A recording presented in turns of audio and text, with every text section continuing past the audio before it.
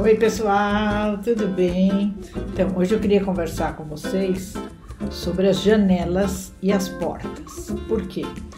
As janelas representam os filhos para o Feng Shui e as portas representam os pais. Então, é muito importante quando você for escolher uma casa para morar que você escolha uma casa que seja equilibrada nesse sentido tem que ter um equilíbrio entre as portas e as janelas, não uma casa cheia de janela e uma portinha pequenininha ou muitas portas e duas janelas.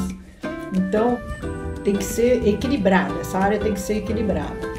Então agora eu vou explicar as portas e as janelas. E se vocês puderem assistir o vídeo até o fim, é muito legal porque aí vocês não perdem nenhum detalhe, porque tem várias coisinhas que eu falo no meio, que eu vou lembrando de acordo com o que eu vou falando, né? que tem coisas que eu não lembro no começo, mas no final eu sempre acabo lembrando e vou, vou acrescentando mais informações, ok? Primeira coisa, as janelas são os olhos da casa. Então, às vezes as pessoas não limpam as janelas, não cuidam, deixam a janela quebrada, essas coisas. E a pessoa perde a visão da vida. A pessoa fica míope, vamos dizer assim, porque ela não está enxergando direito. Porque a, já expliquei que a casa é a continuação dos nossos corpos. Então nós temos que ter visão, nós temos que ter amplitude, não exagerado, mas também não míope. Então a gente tem que usar as, as janelas, tem que usar as, as portas, todos a nosso favor.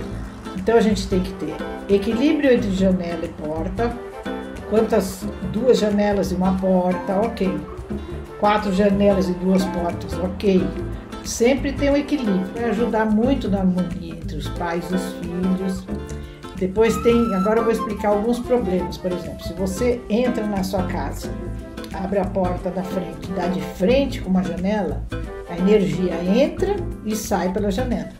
Então não é legal. Então é bom você ou você compra um lustre de cristal e coloca no meio entre a porta e a janela, porque aí a, a energia para no cristal e não, não sai pela janela.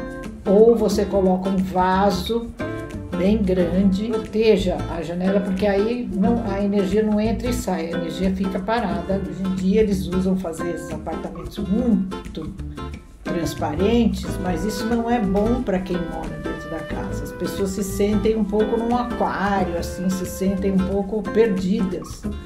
Não, não a pessoa precisa de parede, precisa de e aconchego, não pode ficar uma coisa solta no ar. Astral muito melhor no mesmo lugar. Não se esqueçam que sempre tem que entrar pela porta da frente. A porta da frente é a porta onde entra energia tia, onde entra suas oportunidades, suas novas chances de crescer na vida. Então, não deixe de entrar pela porta da frente. Agora, continuando falando das janelas. É muito importante também as janelas, as janelas não serem muito pequenas. Se a janela é muito pequena, por exemplo, tipo escotilha ou algo assim, a casa fica muito escura. Não pode ser grande demais, não pode ser pequena demais. No caso das pequenas, eu aconselho a colocar espelho. Então, por exemplo, tem uma uma sala que é muito escura, o ideal é você espelhar o máximo que você puder essa sala. É uma cura que a gente usa no Feng Shui para, para você se sentir melhor, para abrir seus horizontes, para trazer luz para sua casa e energia, porque uma casa que não tem muita luz, ela não tem energia. Porque onde não tem luz, não tem energia. Então você pode usar e abusar das, das luzes à noite, mas durante o dia você pode colocar essas clarabóias, quase que não sei, clarabóia, e também telha, telha de vidro, sabe? Para dar uma, uma clareada na casa, se for uma varanda também muito escura, é legal você misturar umas telhas de vidro que dá uma luz assim, também não, não mofa as coisas. Então essa é a minha dica que eu queria dar para vocês. Então vocês já entenderam tudo. Agora eu vou fazer um textinho, vou deixar para vocês. Depois vocês leem com calma e organizem sua casa. Eu vou botar umas fotos também.